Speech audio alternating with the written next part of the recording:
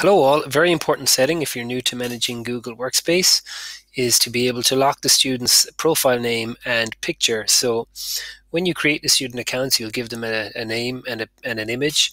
They have the ability to change their actual email name uh, and add a kind of display name or nickname, and that will be the default name in things services like Classroom. So it can be very frustrating.